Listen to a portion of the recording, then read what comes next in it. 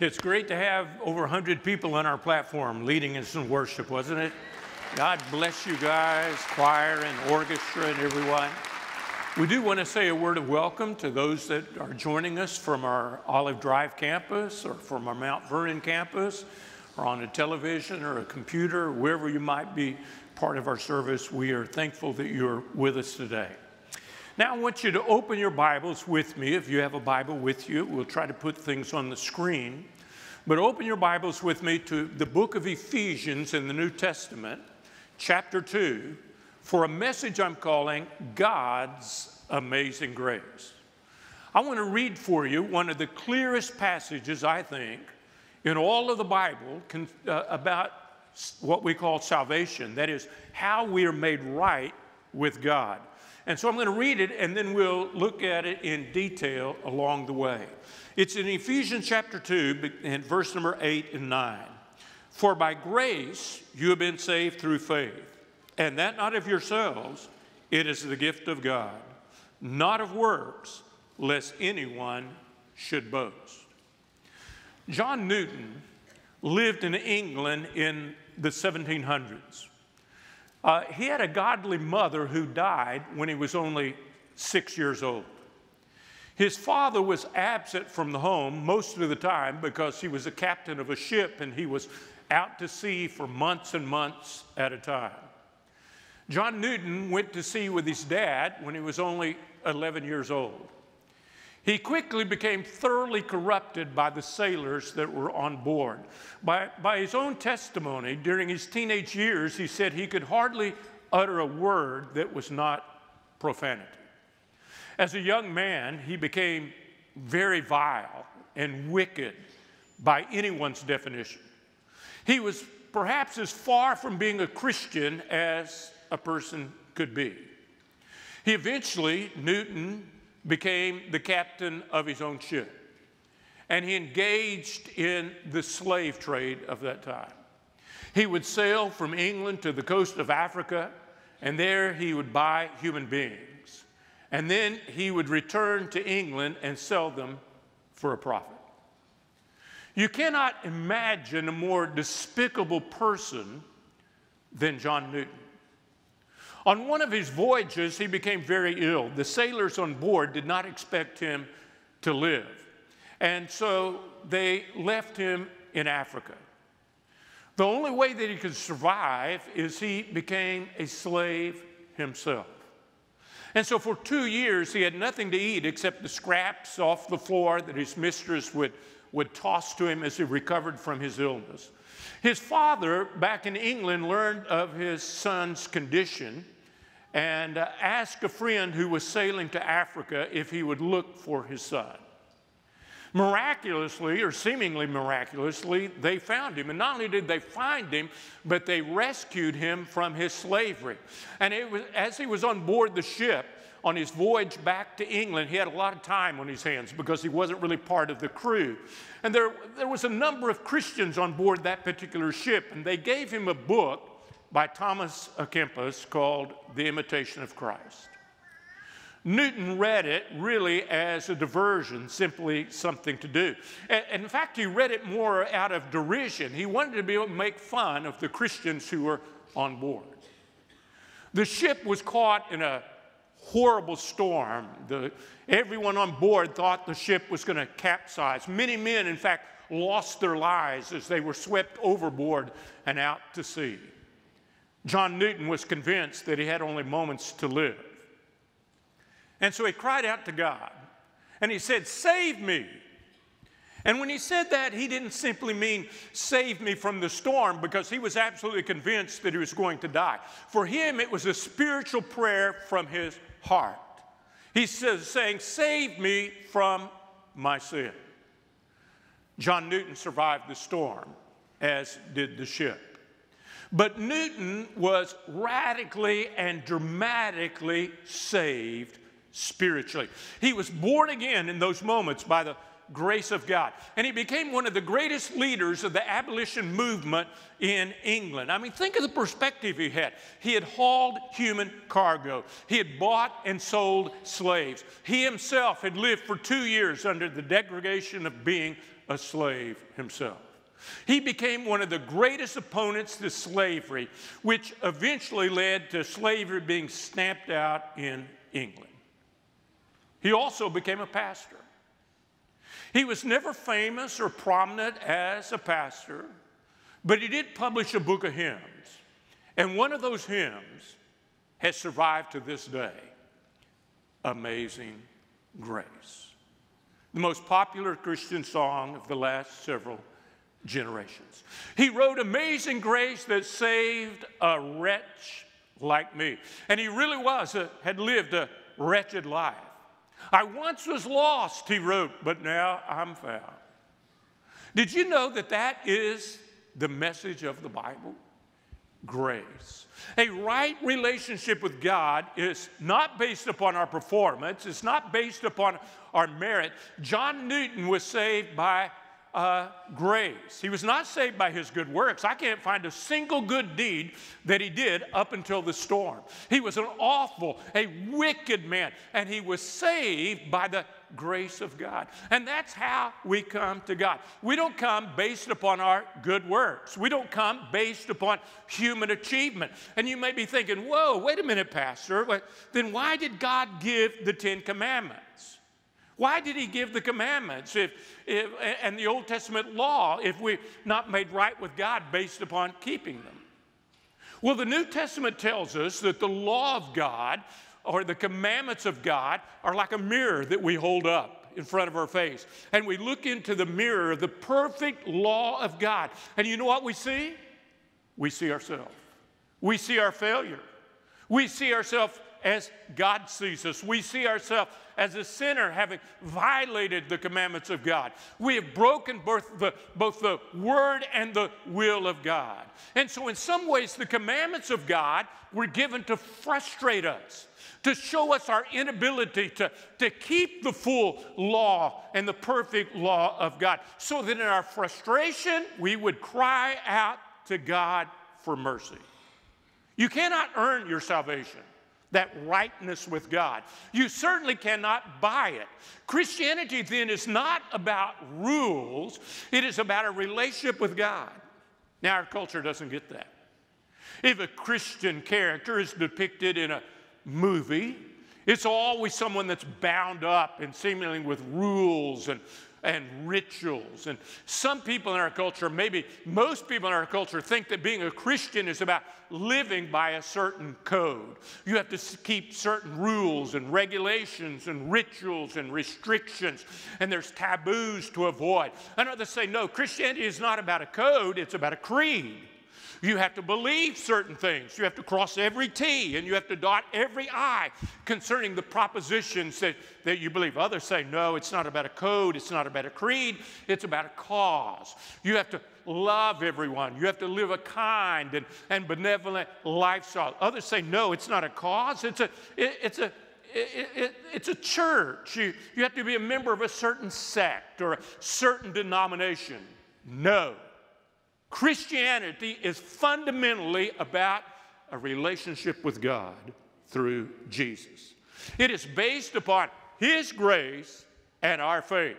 Now, if Christianity was based upon our good works, we can never quite be sure. How would we know that we have done enough to earn God's favor? Let's say that you live a good life, you, you, you live a very kind life, you help old ladies across the street, and you help people in need, and then one day you have a bad day, and you mess up, and then you're hit by a Mack truck.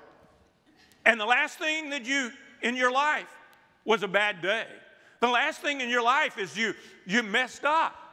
If God's love is dependent upon your goodness, then when your goodness changes, God's love towards us would change, wouldn't it? But God's love is not a reaction to us, it is an action towards us. God does not change us so that He can love us, He loves us so that He can change us. And that's not just semantics, that is the crux of the gospel. And yet we live in a culture where so many people are trying to live good enough so that God will love them. They think, oh, if I could just be good enough, if I could go to church enough times, then I could earn God's favor. And uh, if we come to God, though, based on human achievement, then here's the big question why the cross? If it's based upon our goodness, then why did Jesus die? The Bible clearly tells us that he died paying the penalty of our failure, paying for our guilt, paying for the penalty of our sin. Now, in the New Testament, those who are believers are often called the children of God. There's a big difference between a son and a servant. A servant is accepted on the basis of what they do.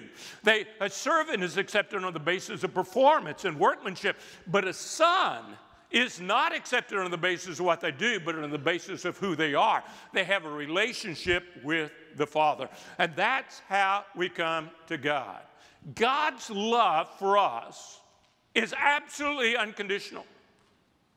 There's never been a moment in any of our lives, our most shameful moments, our, our most embarrassing moment, there's never been a moment where God did not love you. God, and it's unconditional. God doesn't say, I love you since you're trying so hard. He said, doesn't say, I love you because you're so sincere. I'll, I will love you if you behave. I'll love you if you get it together. His love is unconditional. Now, that is so foreign to us. Most of the time, our love for other people is conditional. I love you if you reciprocate and you love me back. I love you since you're one of the beautiful people. I love you after you get it together. I love you because you're the way you are. But a relationship with God is based upon His unconditional love and His grace. Now, sometimes in sharing the gospel, we will ask people a diagnostic question. We'll say, if you died today and stood before God, and God, what if God asked you, Why should I let you in my heaven? What would you say? It really is a good question. And if you were to die, which you will, and if you were to stand before God, which you certainly will, why should God let you in heaven? About 90% of the answers that you receive to that question show a lack of understanding of grace. People answer it like this they'll say, Well, God should let me into heaven because I, have lived a good life. I'm sincere. I'm a good neighbor. I've done the best I could.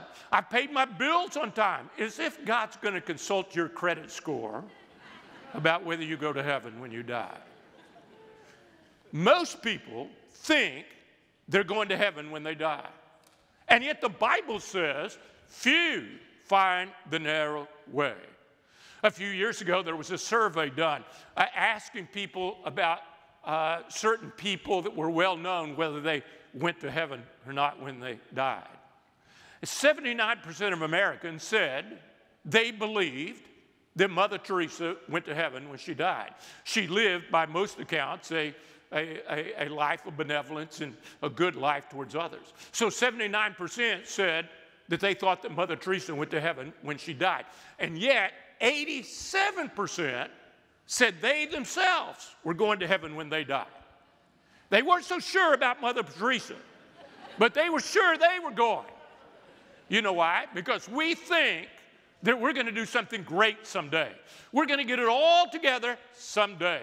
Someday we're going to do something so good that God is going to accept us. But listen to what Jesus said in John 14, 6. He said, I am the way, I am the truth, I am the life. No one comes to the Father except through me. The only way to God is through Jesus and faith in Him. Now, in the passage that we read in Ephesians, I want to look at three great words in that passage. Now, I warn you, they're kind of theological words, they're churchy words. Sometimes when we come to church, it's nearly like we use a different language. But these are important words that all of us need to understand. The first word is saved. In Ephesians 2, verse number 8, it says, For by grace you have been saved through faith, and that not of yourselves. It is the gift of God. Here's the principle as sinners, we all need to be saved from the penalty of sin. Four men at Oxford did a research project a number of years ago. And they researched sermons that were in print spanning over a 100 year period of time. They were looking to see how the nomenclature changed in sermons. And they found in the late 1800s that nearly every sermon that they researched, when they talked about salvation, what we call salvation or being made right with God, they used the word saved. That's a great Bible word. People who come to Christ have been saved. But that nomenclature changed in the 1920s. It changed in America under the ministry of Billy Sunday. He was a great American evangelist. And instead of speaking of being saved, he began to talk about being converted. The word converted means to be changed. It carried with it the idea of repentance, that you turn from your sin and that you turn to Christ, and it brings this change within your life. Then the nomenclature changed again in the 1950s, in the 1960s, under Billy Graham. And he began talking about making a decision for Christ or accepting Jesus as your Savior. And we still use that nomenclature somewhat today. And I'm not saying that it's wrong, but did you know that the Bible seldom talks about accepting Christ? The biblical word is saved. Saved implies danger, doesn't it? It implies urgency. If we say you need to make a decision for Christ, you can kind of take your time and make up your mind. But saved implies urgency. Saved is something that God does, except accepting Christ's emphasis on something that I do. And there's a big difference, isn't there? What does it mean to be saved? The word saved simply means to be rescued from danger, right? I mean, if you're on a ship and you fall overboard and you can't swim and someone dives in and they pull you out, you have been saved. Your house is on fire and a fireman pulls you out, you have been saved. You're guilty as a felon and you're on death row and a governor pardons you, you have been saved. On a spiritual level, it means you have been rescued from the penalty of your sin. You see, the Bible teaches that every human being except Christ has sinned. That doesn't mean just murder or a, a pedophile. It's an archery word. It means to miss the mark. The mark is the moral perfection of God. And all of our lives have missed that. And the penalty for that is to be separated from God. But Jesus came to save us. It's not just about eternity and going to heaven when we die, as wonderful as that is. But you know what sin does to us? Sin makes a mess of our life. When you violate the Word of God and the will of God, it creates this cascading mess within your life. And yet, we have all sin. Our sin is like baggage that we're tied to. We have this huge baggage and it's stuffed full of all of our failure, and we're tied to it. And throughout our life, we're pulling all of our failures of our past and all the guilt of the past. We're pulling it. And when we're saved, Jesus cuts the rope and we're free not only of the penalty of sin, we are free of the guilt of sin. And He changes our life. In fact, He says, You are born again. There's another great word in this passage, though, not only the word saved, but grace. Look again in Ephesians 2 8. For by grace you have been saved through faith, and that of yourselves is the gift of God. Here's the principle grace involves God extending mercy and forgiveness apart from any human merit. Grace means fundamentally unmerited favor. We don't earn it, we don't deserve it. In the original language of the New Testament, there's a definite article in front of the word grace. For by the grace you have been saved. The grace.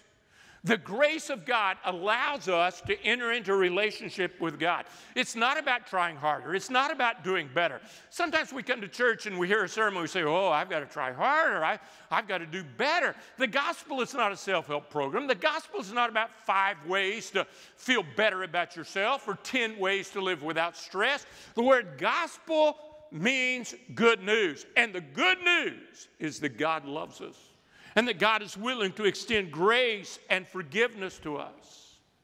Every few years, there's a trial that the pundits name as the trial of the century. It's interesting how many trials of a century there can be. But one of the original trials labeled that was that of the Rosenbergs.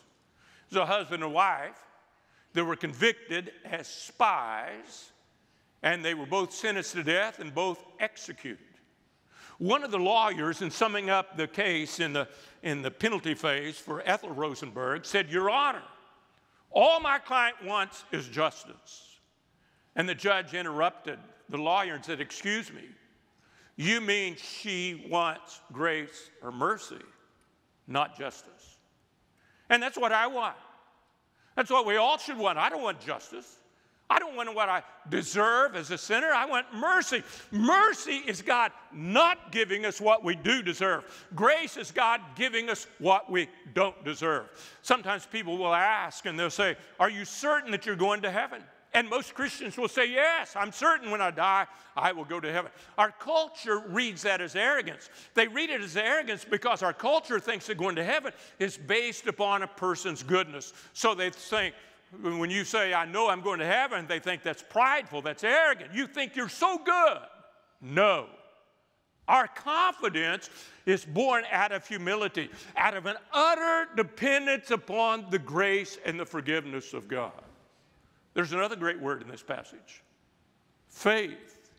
Ephesians 2 8, for by grace you've been saved through faith, and that not of yourselves is the gift of God.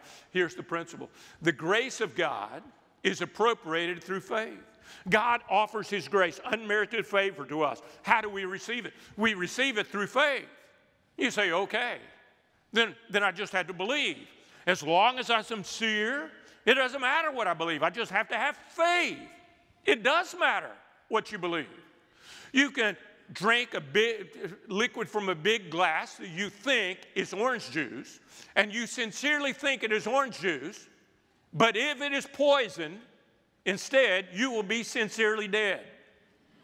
The object of our faith, the object of our confidence does matter.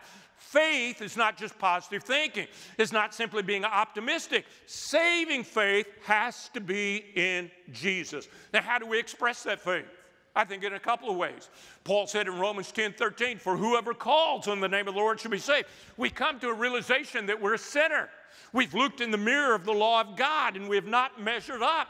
And we call upon the name of the Lord and we cry out to Him for mercy. But then there's also repentance. Repent means to turn from our sin. I'm not saying you have to do penance. I'm not saying you have to have all your spiritual ducks in a row, that you have to clean up your life, but there must be a willingness to turn from a lifestyle of sin and turn to Christ. Otherwise, it would be what Dietrich Bonhoeffer coined the term cheap grace.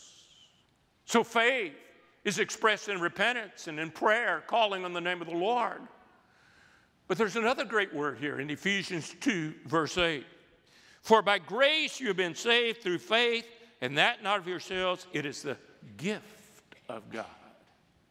Here's the principle every aspect of our salvation is a gift from God. It says, and that not of yourself. What is the antecedent of the word that? All of it. Being saved is a gift, grace is a gift, even our faith is a gift. That little word gift shatters the last vestige of our pride. That somehow it's something we do. And maybe we think, well, at least I was smart enough to believe. No, even your faith is a gift. God initiates our salvation by convicting us of our sin and convincing us that we are sinners. And then He draws us to Himself through the Holy Spirit. We find two negative clauses in this passage as well at the end of verse 8. For by grace you've been saved through faith, and that not of yourselves. Not of yourselves. That's humanism. Here's the principle salvation is not based upon secular humanism. Humanism is the idea that man can save himself. That if you mess up, just try harder. If you mess up, turn over a new leaf. If you mess up, reform your life. If you mess up, clean up your character. It's spiritual Darwinism. Darwinism teaches that man is going to overcome. Given enough time, we will evolve.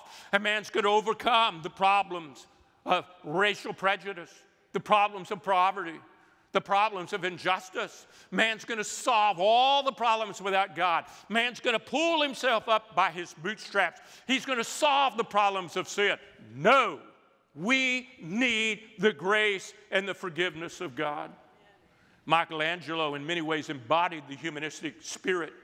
He did a series of sculptures. The first sculpture was a slab of marble, and there was just the hint of a man's face in the first slab.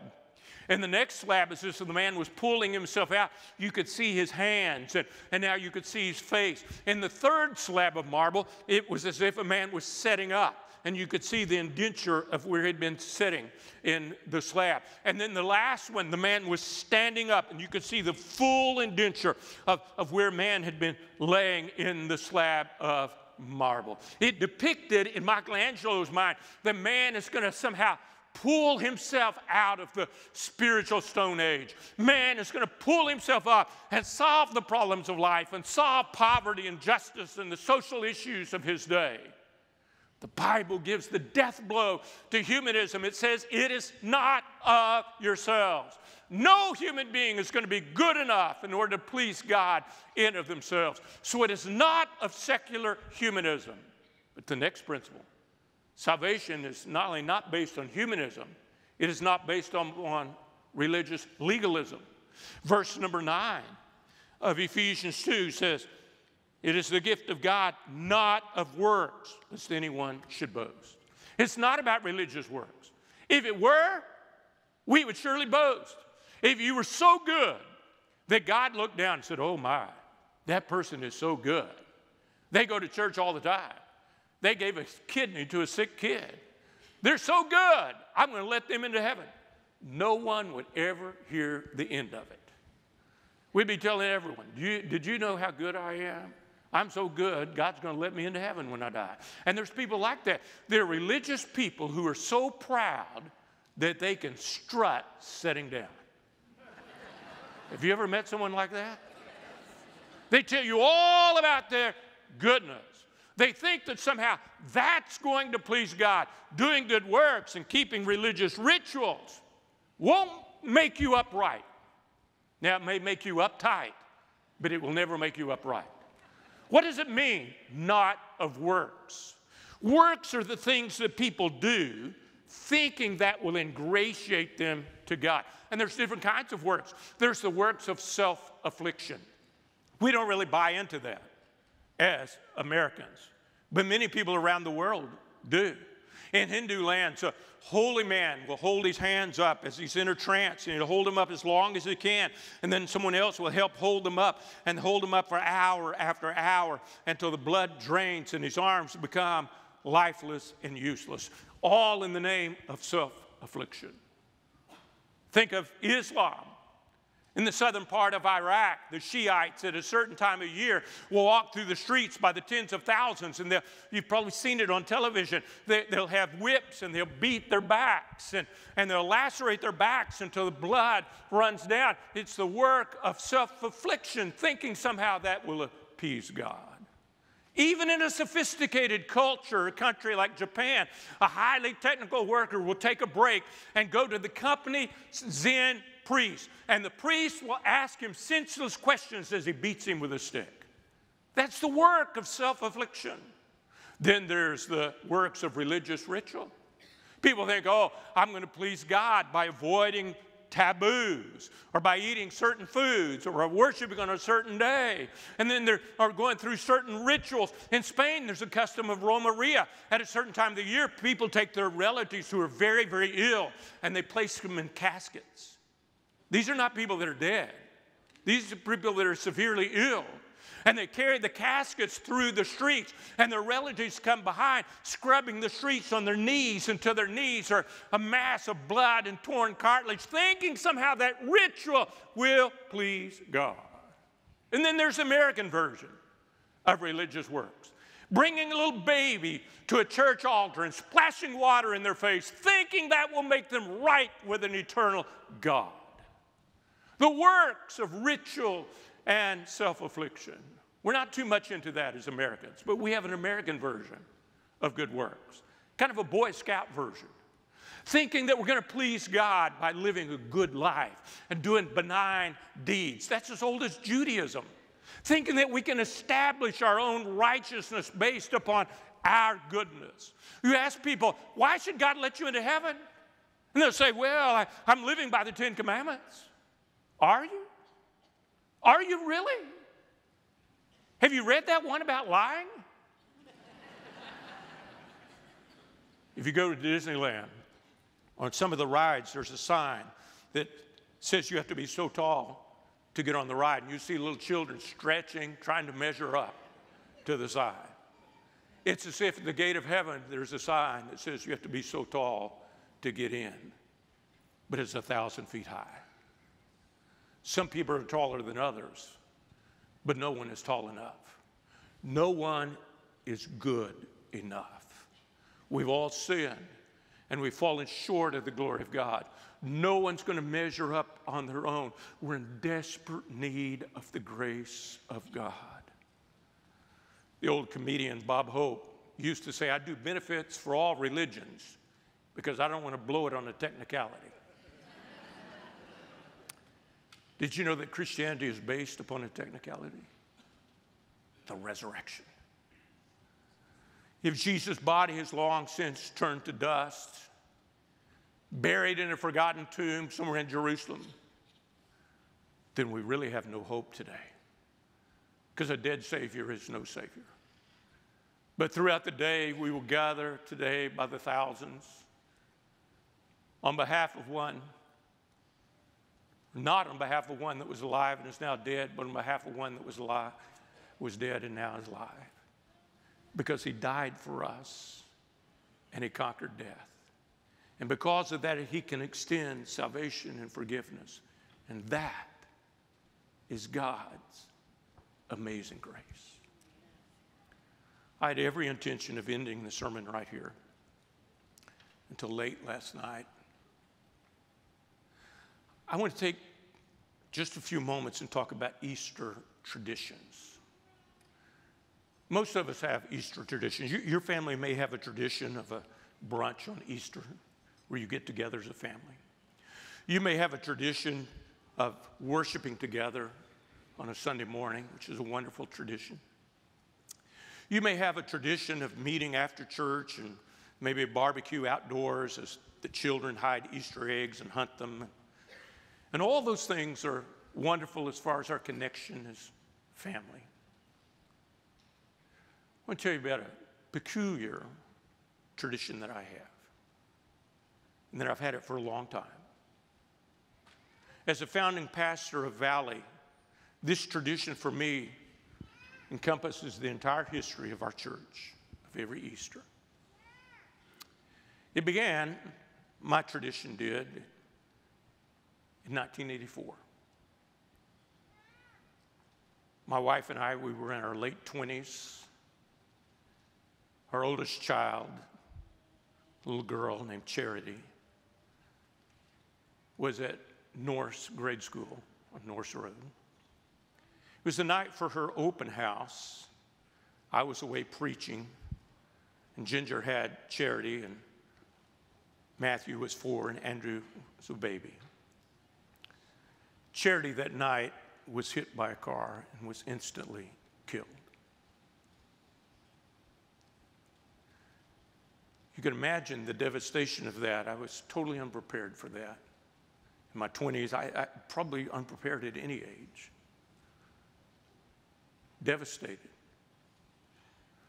She was holding hands, Charity was, with her little brother Matthew, who was four, and she was hit and he was not.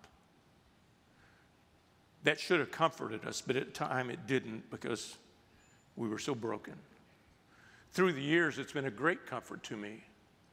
So I've watched Matt become a man, a pastor, a good husband, a good father of four of my grandchildren. That was 1984. Valley Baptist started, was founded in December of 1985. So our first Easter together as a church was 1986. On that Easter and every Easter since, the night before Easter, I've listened to the recording of my daughter's funeral. It's 54 minutes long. I listened to it again last night. We sang in that service a few hymns together. Walt and Gayla Brown sang some special music. Walt was our minister of music at the time. Close family friend, a young man that I'd led to the Lord named Marty Haggard, Merle Haggard's son, sang. I gave the eulogy. Pastor Phil preached a beautiful sermon full of hope.